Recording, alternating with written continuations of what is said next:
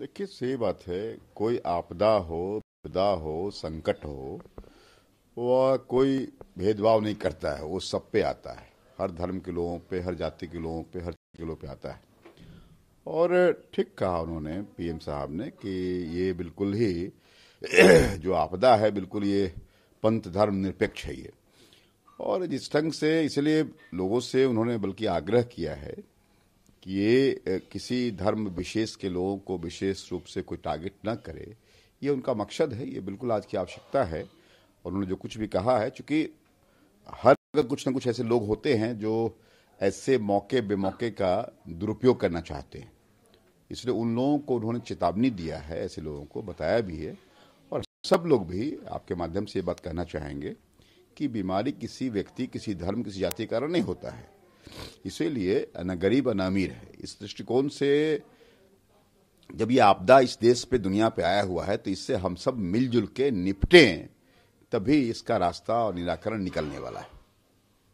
प्रधानमंत्री ने यह भी कहा है कि ग्लोबल रेलिवेंस और एप्लीकेशन खोजने में दूसरा बड़ा आइडिया भारत का होगा। देखिए निश्चित तौर से भारत जो जिस ढंग से भारत की एक परंपरा है और भारत के अपने स्वस्थ रहने के तरीके हैं, और अपने यहाँ कहा भी गया है कि बचाव जो है, वह बचाव ही सबसे बड़ा सबसे बड़ा दवाई है वह। तो जो प्रिवेंशन का जो मेथड अपने यहाँ है, जो अपने तौर तरीके हैं, और अपने यहाँ कहा भी गया कि भोजन ही भेषज है मतलब अपने यहाँ जो फ़ूड सिस्टम है, वही मेडिसिन सिस्टम भी रहा है। तो इस हालत, इन हालातों में ऐसे ढंग के जो पूरे बसदा पे विपत्ति के रूप में आया हुआ है तो भारतीय विचारधारा या भारतीय ज्ञान परंपरा या भारतीय भेषज प्रणाली जो है, इंडियन कहें, फार्माकोलॉजी कहें, इंडियन आयुर्वेद कहें, प्राकृतिक चिकित्सा कहें तो इन तरीकों में ही रास्ता है। मुझे लगता है कि प्रधानमंत्री महोदय को इन तमाम देशज तौर तरीकों पे का आर एन डी करना चाहिए।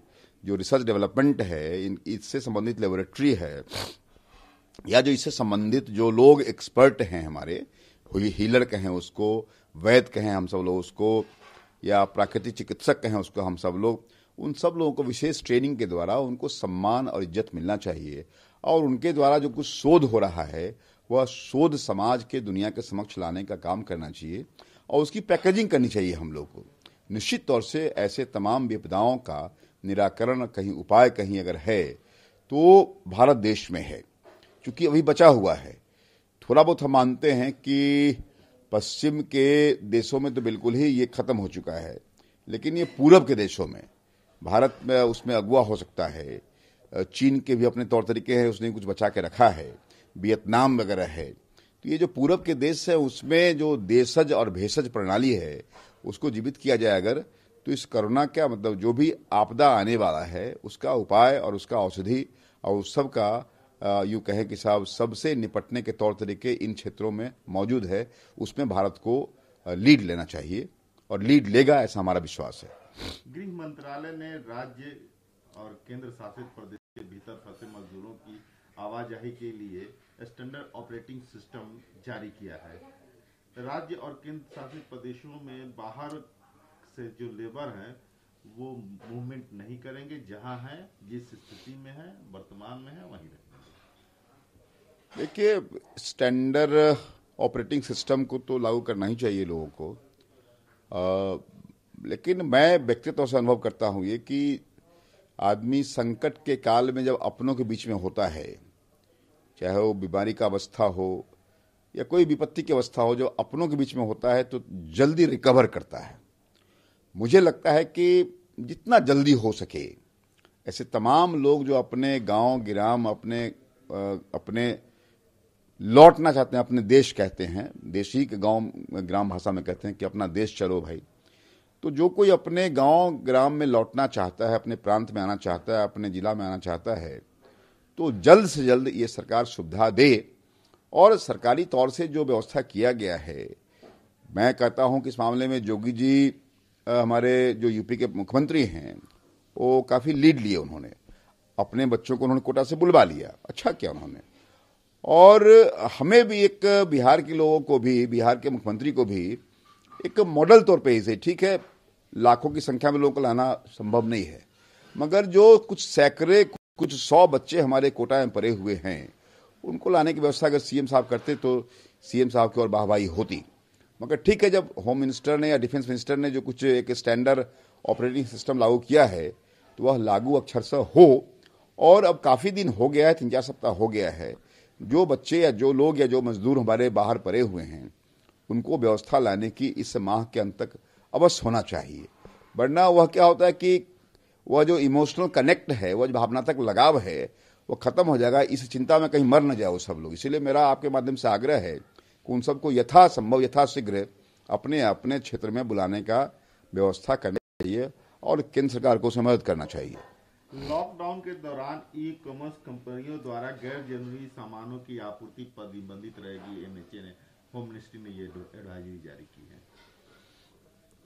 देखिए छोटा दुकान बंद है। और ये जो बड़े व्यापारी हैं अमेजन क्या है? तो अमेजन टॉप टेन रिच में आ गया है। और ये सब लोग, को ऑर्डर दे दिया गया है। तो मुझे लगता है कि जनता को तो कुछ सुकून मिलेगा रिलीफ मिलेगा। लेकिन साथ साथ अगर जो छोटे छोटे व्यापारी हैं, जो हमारे अगल बगल के परचून के दुकान वाले हैं, उनको भी कुछ कंडीशन के साथ अगर, कुछ शर्तों के साथ अगर कर दिया जाए, और मोटा मोटी कुछ शर्त तो दिया ही लागू किया गया है लेकिन स्पष्ट नहीं है। होता क्या कि एडवाइजरी डेली निकल रहा है। केंद्र सरकार का अलग निकल रहा है, बिहार गवर्नमेंट का अलग निकल रहा है, जिलों में अलग निकाल रहे हैं लोग। तो एक एक कंबाइंड तौर से निकले, एक संयुक्त तो हो यह ज़रूरी है। और मैं केवल आग्रह करूँगा कि बड़े व्यापारी के साथ साथ, जो छोटे व्यापारी हमारे हैं, जो हमारे अड़ोस अड़ोस के पड़ोस के नुक्कर के दुकान वाले हैं, थोड़ा उनको भी सुकून मिले अगर तो बड़ी सुविधा होगी। उनके लिए भी और उस उनके उपभोक्ताओं के लिए भी सुविधा होगी। लॉकडाउन को लेकर के चिदम्बरम ने केंद्रीय सरकार को हृदय विहीन बताया है और कहा है कि गरीबों को कोई भोजन क्यों नहीं दिया जाता? ये तो विरोधी हैं विरोध करने के लिए विरोध कर रहे हैं। देखिए ये सच्चाई है हर संकट में जितनी बड़ी आबादी है इस देश में इतने जनसंख्या हैं और जब भी कुछ फ्री बी की बात होती है कुछ मुफ़्त में बटने की बात होती है तो आप यूँ मान के चलें कि आधे व्यक्ति ऐसे चले जाते हैं जो उस श्रेणी में आते ही नहीं है। और वह अपने बलिष्ठ होने के कारण जो है, वो जिन अभिष्टों तक पहुँचना चाहिए, वह नहीं पहुँच पाता है। इसीलिए कुल मिलाकर के सरकारी सिस्टम को पुख्ता करना पड़ेगा कि कैसे जो जेन्यून लोग हैं, जो सही लोग हैं, उनके पास में राहत सामग्री पहुँचे, ये प्रयास करना होगा। मगर विरोधी पार्टी के लोग, विरोधी पक्ष के लोग तो अपनी बात विरोध में कहेंगे ही। बावजूद इसके, सीमित साधन में हमारी केंद्र की सरकार ने और प्रदेश की सरकार बिहार ने भी प्रयास भरपूर किया है, ईमानदारी से प्रयास किया है कि जरूरतमंदों को खाद्य सामग्री और कैश ट्रांसफ़र हो, जो डायरेक्ट बेनिफिट ट्रांसफ़र डीबीटी है, वह हो, ये प्रयास किया है। मगर जो अधिकारी तंत्र है, जो डिलीवरी मैकेनिज्म फिर जो इलेक्टेड बॉडी हमारा है अब बिहार में तो खास करके मुखिया को काफ़ी दिया गया है, काफ़ी फंड दिया गया है और उसके उस बंटवारा हो।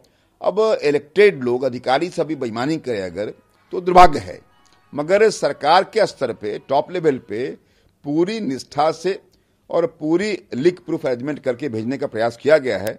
मेरा आग्रह होगा उन तमाम इलेक्टेड लोग जो हमारे, जो ज़मीन पे है, जो हमारे फुट सोल्जर हैं, अधिकारियों के साथ मिलजुल करके लाभार्थियों तक लाभ पहुँचे। लाभार्थी तक सेवा पहुँचे, सामग्री पहुँचे, भोजन पहुँचे और कैश कैश जो बेनिफिट है, उसका लाभ मिले, ये प्रयास करना होगा। उसके लिए समन्वय बनाना होगा। जो इलेक्टेड लोग हमारे हैं, ज़मीन पे वो और साथ साथ जो अधिकारी है, उन दोनों को मिलकर के कुछ रास्ता तलाशना होगा, ताकि जेन्यून लोगों के पास में सामग्री राहत का पहुँच सके। बिहार विधानसभा में मुख्य सचेतक और हिसुआ से विधायक, भाजपा विधायक, आपके विधायक अनिल सिंह लॉकडाउन में अपनी बेटी को कोटा से लेकर के आए हैं। मामला भी विवाद बढ़ गया है क्योंकि नीतीश सरकार ने निर्णय लिया था कि जो जहाँ है उसकी व्यवस्था की जाए। अगर उनको लाया जाता है तो लॉकडाउन का उल्लंघन माना जाएगा। और ये इन्होंने ई पास बनवा करके नवादा ज़िले से जाकर के लाए हैं। देखिए मुझे जानकारी नहीं है आ, लेकिन मुझे लगता है कि जब ये इंस्ट्रक्शन आया है आ, कि कोटा से हमारे बच्चों बच्चों को नहीं लाया जाएगा कोटा में ही अरेंजमेंट किया जाएगा, ऐसा इंस्ट्रक्शन उन्होंने कल दिया है, हमारे चीफ मिनिस्टर महोदय ने, और राजस्थान के सीएम से बातचीत भी किया है, और वहाँ सारी व्यवस्था उनकी हो गई है। मुझे लगता है अगर ऐसा हुआ भी होगा तो हमारे अनिल सिंह जी, जिम्मेवार नेता हैं, उन्होंने कल के पहले की तारीख में बच्चे का बच्चे को लाया होगा, ऐसा मुझे लगता है, क्योंकि कल के बाद से तो सीएम साहब का एकदम ब्लैंक इंस्ट्रक्शन था, कि साहब नहीं, वो बच्चे वहीं रहेंगे और बच्चों की व्यवस्था वहीं कर दी गई है। मुझे लगता है ये कल के पहले का निर्णय होगा, जो डीएम नवादा ने किया होगा। और ऐसा लगता है मुझे मुझे लगता नहीं कि एक जिम्मेवार व्यक्ति के नाते इस ढंग का कोई गैर जिम्मेवार कोई काम करेंगे ऐसा मुझे लगता नहीं है। लेकिन अगर ऐसा हुआ है तो पहले का होगा। हमको लगता है कल के पहले का होगा जो बहुत अक्षम नहीं कहा सकता है। मतलब इसलिए मुझे लगता है कि कोई गलती, कोई ब्लंडर नहीं कहा सकता है। ये पहले होगा बच्चा बच्चा सबका होता है। लेकिन इस ढंग से जो उन्होंने किया है, ये निश्चित तौर से कल के पहले की तारीख होगी।